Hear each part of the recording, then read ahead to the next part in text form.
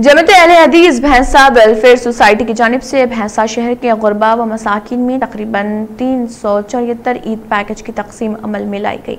वाजरे के लॉकडाउन के आगाज़ से ही जमत अहल हदीस की जानब से गरीब व मुस्तक अवाम में राशन पैकेज की तकसीम का सिलसिला जारी है। रमज़ान मुबारक के पेश नज़र, गरीब व मुस्तक तीन सौ चौहत्तर लोगों में ईद पैकेज तकसीम किए गए। इस मौके पर जमत अहल हदीस, भैंसा वेलफेयर सोसाइटी के जिम्मेदारान मौजूद थे।